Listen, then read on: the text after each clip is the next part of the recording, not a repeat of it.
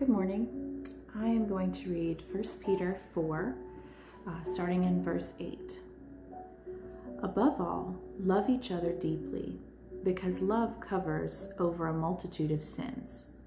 Os- offer hospitality to one another without grumbling.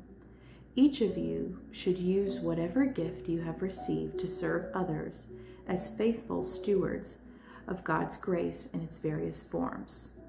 If anyone speaks, they should do so as one who speaks the very words of God.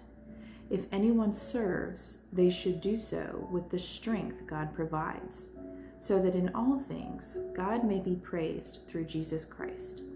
To him be the glory and the power forever and ever. Amen. Um, I just want to challenge us to to start thinking about how we're living.